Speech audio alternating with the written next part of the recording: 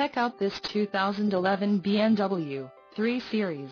This 3 Series has just under 500 miles. This vehicle gets 18 miles per gallon in the city, and 28 on the highway.